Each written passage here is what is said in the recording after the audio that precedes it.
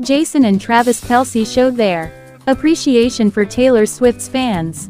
After their New Heights podcast won Podcast of the Year at the 2024 iHeart Podcast Awards. Listen, this is an incredible honor, um, especially for two jabronis like us.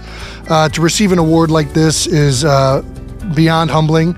And we would be remiss if we didn't immediately thank all of the 92 percenters out there, aka Swifties, who voted for us to win this award.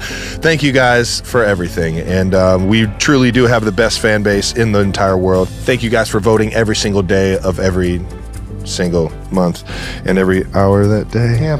Yeah. And uh, you guys make this show what it is. We truly appreciate you guys. Thank you again to iHeart Podcast Awards, um, to the 92 percenters. Thank you guys as well, and uh, to our production team and crew. We can't can't not thank Wave. We love you guys. Thank you. Thanks again.